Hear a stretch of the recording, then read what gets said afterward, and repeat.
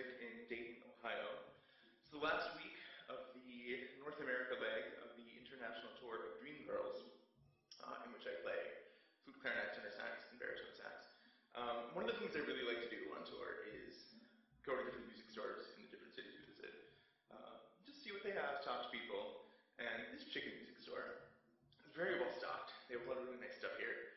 And one of the things that I talked about yesterday, uh, or the day before rather, with one of the sales guys here, is the Clark Fobes debut mouthpiece.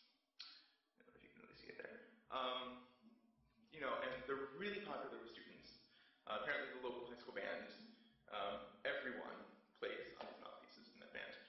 And he asked me to try one, see what I thought about it. So I did, and I bought it because it's really nice. Um, my bass clarinet mouthpiece is Clark Fobes. So, um, you know, I've had two or three of his barrels, I think, and I also use his E-flat extension. Um, he's a brilliant, brilliant clarinet player, and his mouthpieces are really, really, really good, and they're widely loved by professional players everywhere. Um, so he's been making this student mouthpiece for a very long time. And I bought one, and I, you know, I wanted to use it in the show for a couple nights just to see if anyone could tell the difference between this and the mouthpiece I was using before. And the music director actually prefers the sound of this mouthpiece for the show. Um, so I want to just play a little bit, give a little demo, talk about it, uh, which I'm doing. It is, gosh, it's like, I think it's $30 I paid for it or something. It's ridiculous. Sounds like a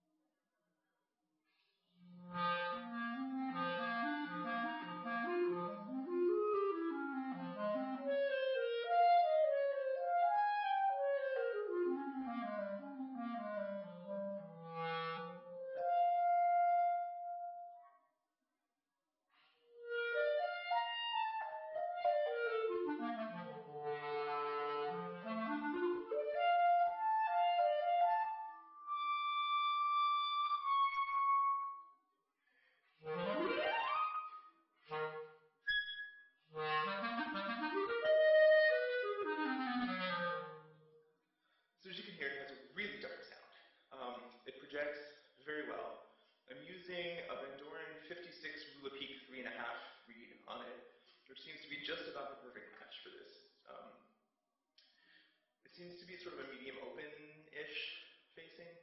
Um, so whatever brand you use, three and a half, three, maybe a 4,